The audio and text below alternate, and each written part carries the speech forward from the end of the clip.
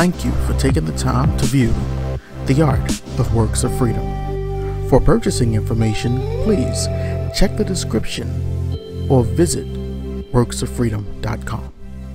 And as always, thank you for supporting the arts.